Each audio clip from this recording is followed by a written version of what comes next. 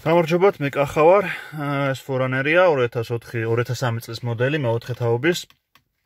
აა და გესაუბრებით ერთ პრობლემაზე, რომელიც ამანქანებს ну, არ ვიცი, ყოველ შემთხვევაში მე მქონდა ეს პრობლემა და როგორც ნახე ინტერნეტში, ზოგ-ზოგიერთ მანქანებს ჰქონდათ მსგავსი პრობლემა. ეს არის patch-ი. ანუ patch ჩვეულებრივად უბერავს ყველგან, უბერავდა და აა სამწუხაროდ აი მარტო ამ ორ განყოფილებაში მქონდა თბილი ჰაერი. დანარჩენში ამ 1-2-ში და უკანაც რაც აქვს, იმაშიც ცივ ჰაერს უბერავდა. მაგრამ და სამთარი იყო და მაგრამ მაგრამ ციოდა. უკეთ მივიყვანე ხელოსანთან, ძირთადად ელექტრიკებთან, რა ვიცი, სხვა ვინ მუშაობს ამაზე, არ ვიცი, ელექტრიკებთან მივიყვანე და მითხრეს ეს დი რაღაც. თლიანი ტორპედო, აი რაც არის, უნდა დაიშალოს. რული მოიხსნას აი ეს განყოფილება რაც არის, ეს მოიხსნას. მე შეგინდ რკინები და თუ რამე აქვს, აბსოლუტურად ყველაფერი უნდა დაიჩალოს, რომ მიუდგნენ პეჩის რადიატორს. როგორც ეთქეს პეჩის რადიატორი იყო გასაწმენდი. პეჩის რადიატორის გაწმენდის ხერხები არსებობს. რა თქმა უნდა, განახეთ ახლა მოდით განახოთ ავხადო კაპოტი. არის პეჩის რადიატორის გაწმენდის რამოდენიმე ხერხი. ერთ-ერთი მათგანი არის, რომ აი წყალი შეუშვათ და გავწმინდოთ. ეს ეს აპარატურა მიყენი აქ და ანუ მოკლედ ეს ორი, აი ეს ერთი და ორი შლანგი შედის ფეჩში. რომელიც დაწმინდავენ როგორ ამ ორს ხსნიან, აქედან კერხერით შეუშვებენ წყალს და მეორედან გამოდის. მერე ხამ შეუნაცვლებენ ხან აქედან შეუშვებენ, აქედან გამოდის. ნუ როგორ გითხრათ, ხანდახან შველის ეგ აა მაგრამ ჩემ შემთხვევაში მაგან არ უშველა საერთოდ. სხვა რაღაც ამბავი იყო, უფრო რადიატორის რადიატორის ამბავი იყო, რომელიც დაახლოებით 150 ლარი მითხეს მარტო ტორპედოს დაშლაში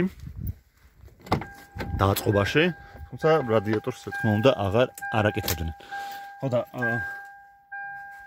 ძალიან ბევრი ვეძები ინტერნეტში, როგორ შემეძლო გამეკეთებინა, აი რა, რანაირად შეიძლება შეიძლებოდა რომ ეს ისე გამეკეთებინა რომ არ დამეშალა მთლიანად და ფულის დამეზოგა. მე რა აღმოჩნდა ყოველ შემთხვევაში ფორანერს არა აქვს რაც მახ ინტერნეტში ფორანერს არ ქონდა მსგავსი ვიდეოები. არც არავის არ ქონდა ვისაც ფორანერი ყავს და მე ვნახე Toyota რომელი ყო Camry. ხო Toyota Camry-ზე ვნახე როგორ მიუდგნენ ჩაულებრივად რადიატორს ძალიან მარტივია ნახე აი ეს ამას მოხსნი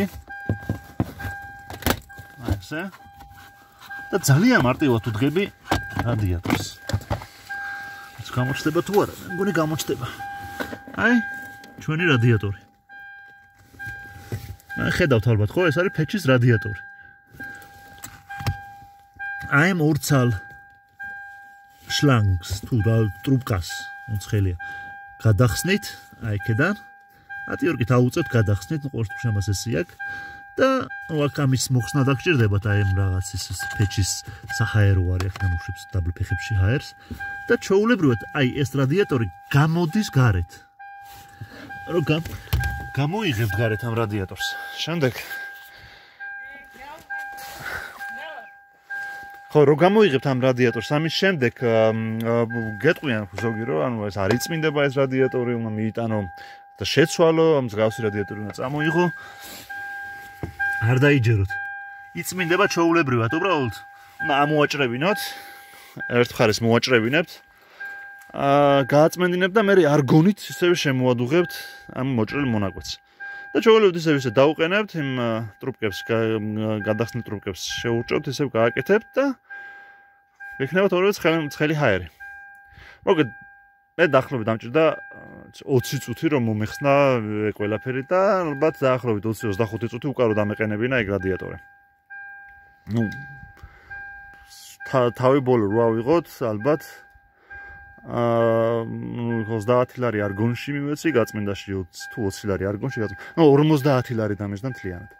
ანუ 150 ლარის მაგივრად მარტო ტორპედო უნდა დამეშარა და ამის და 50 თავის რადიატორი გაწმენდიან ყველაფრიანა. იმედია დაგეხმარებათ რამე შეს ვიდეო. მადლობა ძალიან დიდი.